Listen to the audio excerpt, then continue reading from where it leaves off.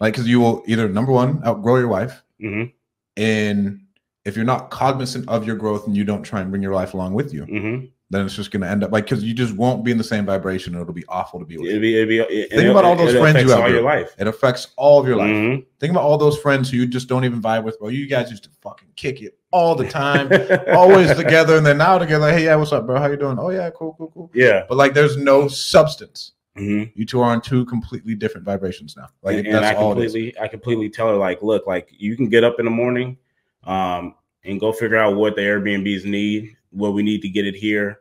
Like you just go, and fi- I, I'll stay with the kids. I'll just work from here.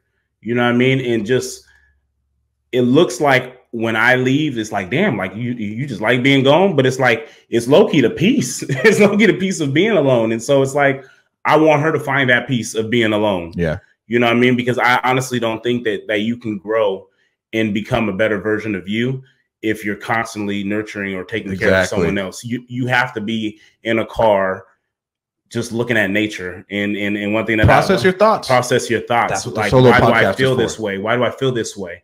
You know, what what took me here? Or, you know, they talk a lot about um, millennials and and how, you know, we, we get so caught up in our phones and sometimes we lack imagination. And that comes from just sitting there and letting your mind wander. Well, if you're being a parent, your your mind's never wandering. Yep. So you're never growing. And so I want her to wander. You know, I want her to think like, why the fuck does he get up and just hop out of bed and go go get coffee? Like, why is that so important to him?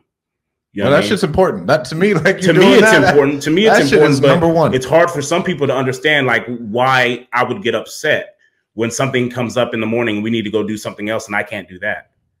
You know what I mean? Like, why is that so important to him? Like, wh- what is this peace that he's fucking getting by going to go get this coffee in the morning and writing in this Project 369 book? You know what I mean? So um, that's been my number number one goal or n- number one thing on my checklist um, for for the last few weeks for sure. journaling helped me out a lot as far as like who are you what do you want what's Mhm. going on because i i mean we still went through like the not knowing who the fuck we are when we quit playing sports Mhm. Like legitimately like bro who am i like you're a piece of shit like like Yeah. all those other crazy thoughts of i mean it's nowhere near to where i think mothers get subjugated to to where like oh no you're just a mom you're a stay-at-home mom hmm even though that is an amazing thing if you want to be more than that you can be more than that Mhm. right so journaling down what do you want to accomplish like same thing i get it does she have a 369 book yet I bought it for her. Yeah. that'll help out so much No, for sure. And as I read it, I'm like, oh yeah, she, you need to start Right. reading this. So yeah, that's kind of that's kind of where we are right now.